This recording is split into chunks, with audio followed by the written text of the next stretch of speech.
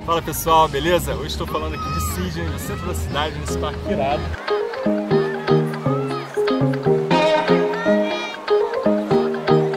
Olha o cachorro. E aí? Muito bom.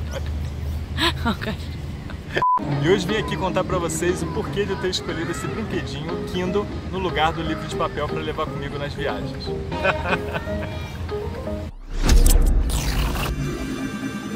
Você pode estar com a dúvida aí de porra, mas eu não vou me acostumar com a tela, ou não quero perder aquele prazer de folhear um livro, de sentir o cheiro, do tato, fazer anotações e tal. Eu já vivi essa porra toda.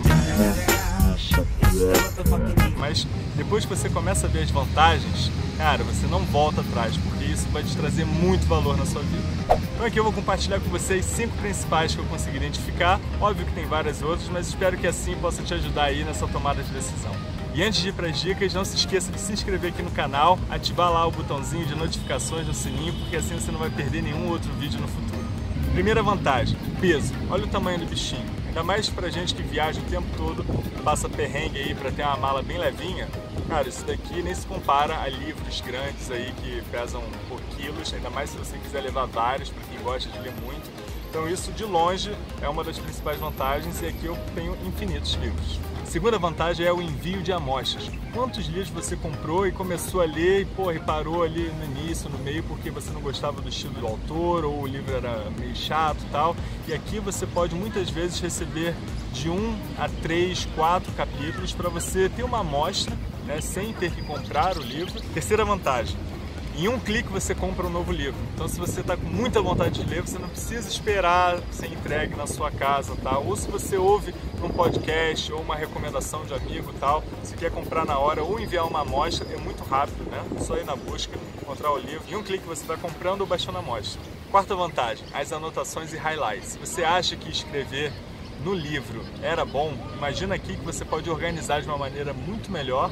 Tem um mecanismo de busca das anotações você consegue exportar no final, se mandar por e-mail, o que for, e assim ver tudo ali organizadinho num PDF, de forma que é animal para você revisar os conceitos principais do livro e assim você vai guardando a sua bibliotequinha de anotações. Muito fora. E a quinta vantagem é o tempo de leitura, que é animal, porque dessa forma você consegue medir quanto tempo falta para terminar um capítulo, para terminar o livro inteiro, e isso para um acompanhamento pessoal do seu ritmo é do caralho. Isso, galera, cinco vantagens aqui desse brinquedinho que mudou muito meu hábito de leitura. Hoje eu leio muito mais, muito mais prazer.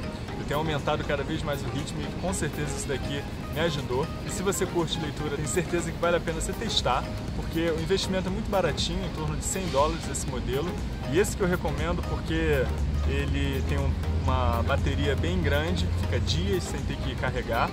Ele é mais barato, ele é mais portátil, ele não quebra o bichinho, meu irmão, é de boa com certeza, se vocês estão na dúvida aí, acho que vale a pena testar, pelo menos, e se não gostar, você volta pro livro. Então é isso aí, se curtiu, dê o seu like, não se esqueça de se inscrever no canal, só ativar lá o sininho para receber vários outros vídeos com essa pegada no futuro. E você vai ver outros aqui com essa pegada de life hacking, de autoconhecimento, nomadismo digital, enfim, muita coisa legal aí para compartilhar no canal. Beleza? Até a próxima!